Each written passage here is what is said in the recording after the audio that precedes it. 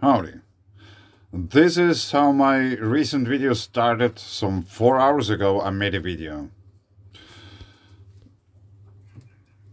Howdy. There is... Yes, howdy, there is. There is a quake. and it is an unconfirmed one. One of those I've mentioned. Unconfirmed, Renania del Norte-Westfalia. And if we zoom in, we are near Euskirchen, Germany. And it's unconfirmed. And just two minutes ago or something, I checked again about the earthquake activity in Europe. And look what I found. This thing here. It is yellow, which means it's deeper than the red ones.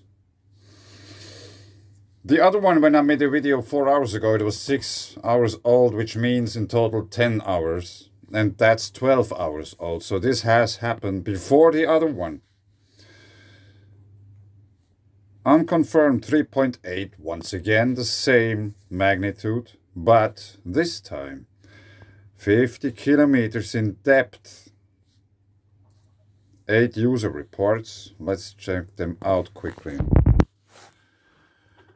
Basically, what I find very interesting is not only the fact that it is an unconfirmed quake, once again 3.8 in magnitude, but also it has happened, obviously, according to the time earlier than the other one. And it hasn't been on the map earlier. Not felt, not felt. Leichte wahrnehmbare Vibration. Some vibration. More info. Is there any info about that? I don't think so. Seismic-like event or whatsoever. Events that uncertain, preliminary, unconfirmed earthquake or seismic-like event Düren.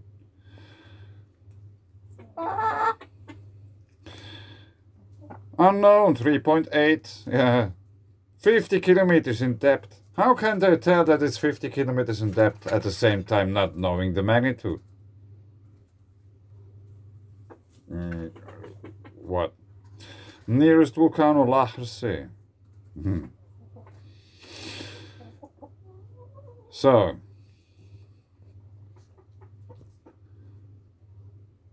actually, we have to go back again and take the coordinates.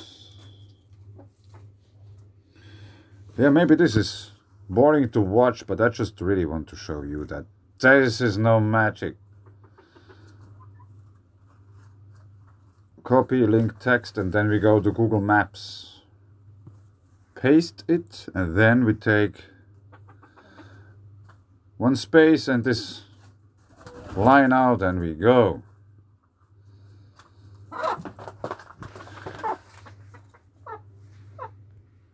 I want to just show you that these marks, all those blue which are here, these are all volcanoes I found on Wikipedia and I just marked them here. there are few of them. But obviously, right in the vicinity of this, we don't have any. Is this the same place we have been earlier? Eiserbachtal. This might be the exact same place we have been earlier, so we have to check this out. Something doesn't match up. Let's go back and get the coordinates. Maybe they pasted some old ones. Now I made it again. Now let's see what's happening. That's the same place. What?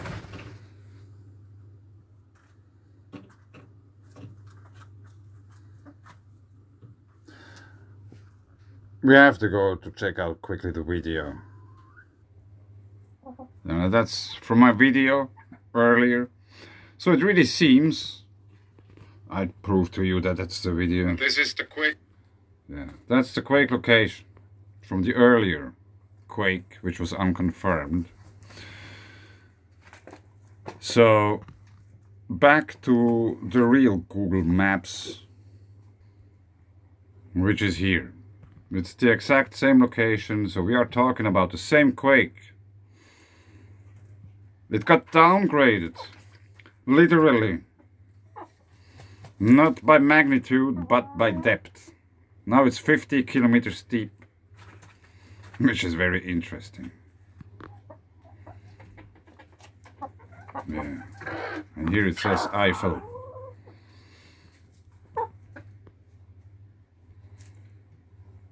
Königswinter, Bonn, the old capital of Germany.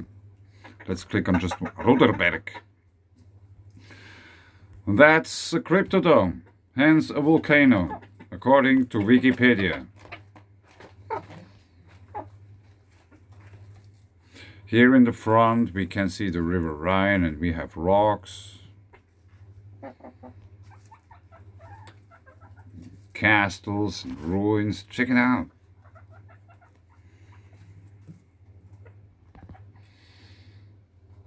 And there's another one on the left side. And it's mainly flat. You know, there's just like some hills and there's like huge flat regions. What do you think What's the reason for them being flat? These are all this kind of flooding regions. And here we have the mountain range. And I wouldn't be surprised if every one of those hilltops would be a cryptodome.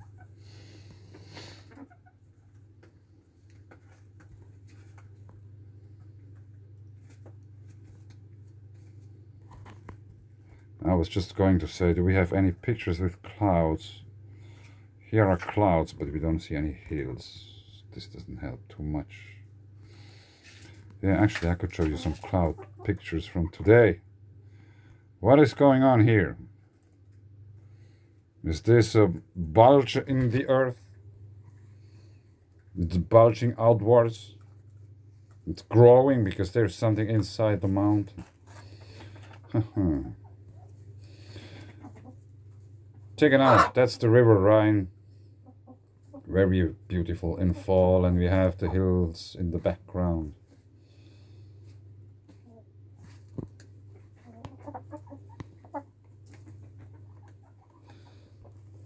Uh, is that rock? Rather interesting looking formation. Nice clouds. Here are no clouds visible. Wow, look at that. Cryptodomes, that's the same, that's Rodderberg. I think, this one. and that's also very interesting. And there's another huge complex there on this hill. And I bet also the people living in these kind of places need water. So if you live on top of a hill, you need water. Or you just have to pay many people to get the water from down there. Which I don't think anybody does. You need your own water. Yeah, that's spectacular.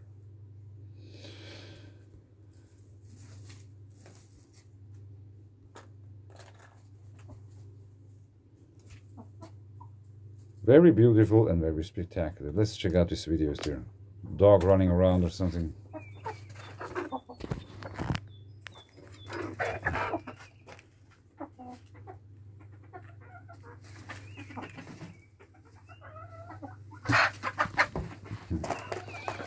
Yeah, birds all over the place.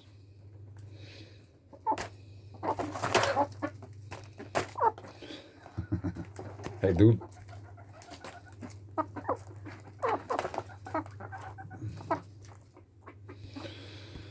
Yeah, let me show you some cloud pictures because we have now seen the pictures from Rodderberg, which is a cryptodome.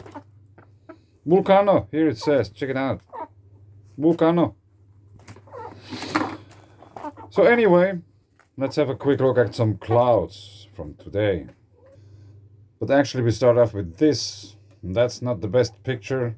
It was a little bit hard to capture, but that's the moon and that's a halo around the moon and it looked really spectacular. This picture doesn't really give any credit to how it looked.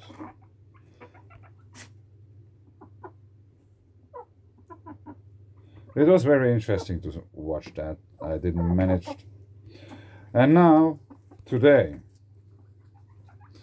there's this kind of pillar here and we can see this rather round formation and those filamentary filaments going out of there or away.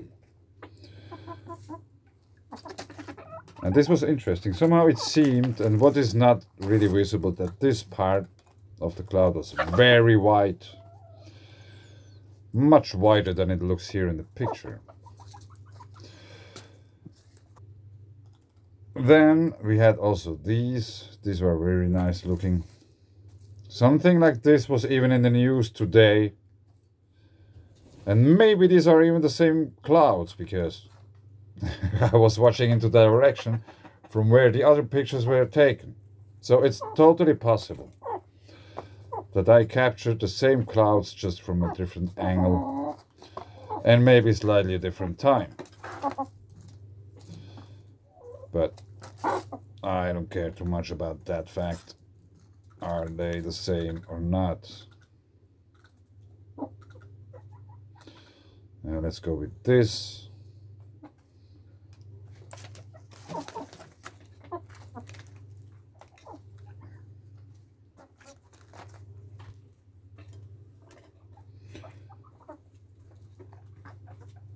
Yeah, they were very interesting to watch.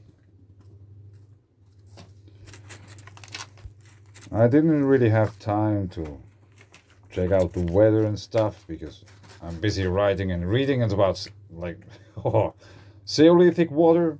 You know, ever heard about that? Very interesting. But that's the same once again from another angle. This cloud structure here.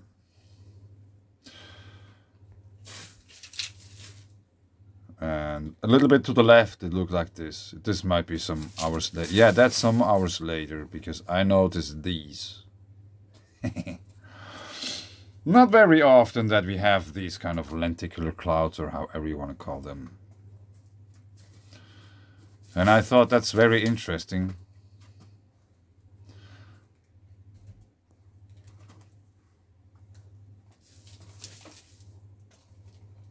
You know Beautiful. Very beautiful. And then I noticed, yeah, not only the rabbit came by, that's a rabbit, but fortunately it didn't eat from this. The other ones had to be protected, otherwise the bad rabbit would take it, eat it.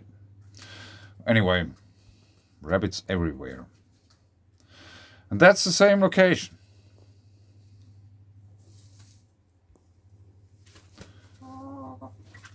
This, with this pillar and this crown of clouds at top of it, a few hours later it looked like that.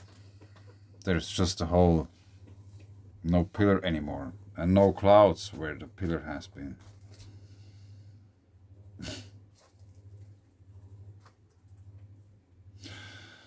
yeah, I just thought that's very interesting. I don't know if you think the same. I think it's interesting. You can think about that whatever you want to. That's the same location. And later it looked like that. There's just a hole left in the sky. And it has still, in a way, a crown around it. There seems to be a little bit darker clouds there in the vicinity of the of the hole in the sky. But anyway, these are probably the best clouds I captured today. They are very neat. Thanks. Bye.